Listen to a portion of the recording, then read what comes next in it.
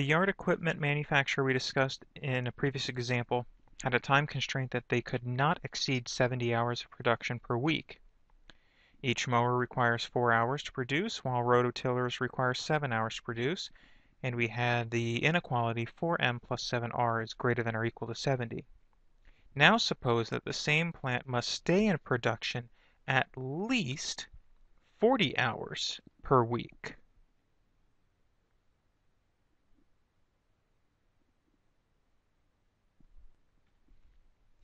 Since they are still, as far as we know, only producing um, mowers and rototillers, well, we still know that 4m plus 7r must be less than or equal to 70. All right, they cannot exceed 70 hours, but now they must also have at least 40 hours. So 4 times the number of mowers, 4 hours per mower, 7 hours per rototiller, must be greater than or equal to 40. So here's a system of inequalities that models the situation. Now, we had graphed earlier 4m plus 7r is less than or equal to 70. So we had, let's see, so 4m plus 7r is less than or equal to 70. That had an m-intercept of what 70 over 4. So that's 17.5. So we had 17.5 comma 0 and an r-intercept of 0, 10.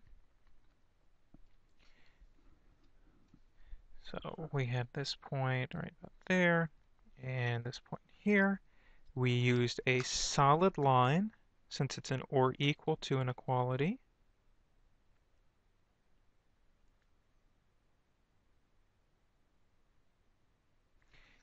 And we knew that we shade, be, shade, uh, shaded below.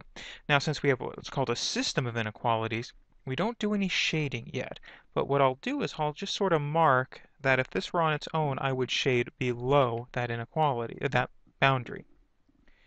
All right, now 4m plus 7r is greater than or equal to 40. The m-intercept, letting r take the value 0, would give us 4m equals 40, which implies that m equals 10. So we would have 10, 0.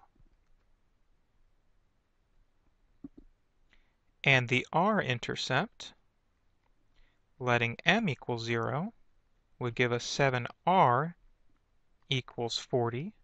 Dividing through by 7, 40 divided by 7 is about 5.7.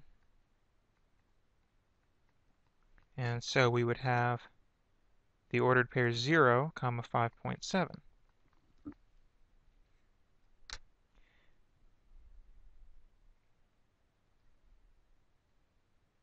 All right, so drawing again a solid line through those points. Now, if we tested, say, 0, 0,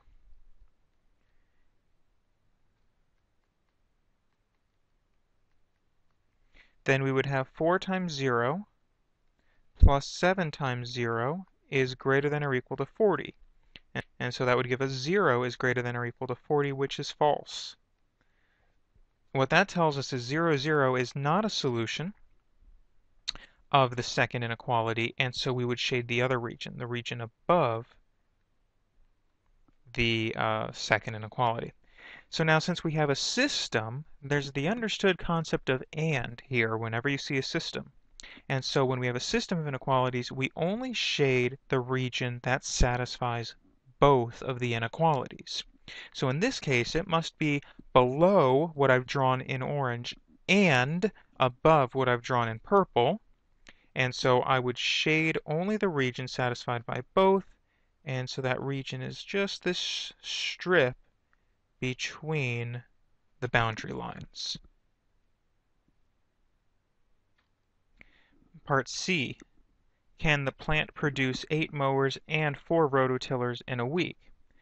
Now, this drawing here is slightly different than what I produced. Uh, remember that the solution is only the strip in between those boundary lines. So eight mowers and four rototillers, so that would mean the ordered pair 8 comma 4. So if we find the ordered pair 8, 4 in this graph, there it is, and it's within that bound, it's within the region of solutions. And so we would say yes, uh, the plant can produce